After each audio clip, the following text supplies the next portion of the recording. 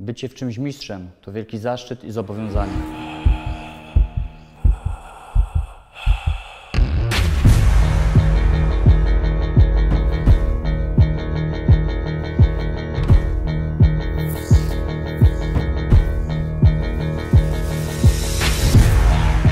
Dwudziestego 7 października podczas gali HFO 5 zawalczy o tytuł mistrza świata.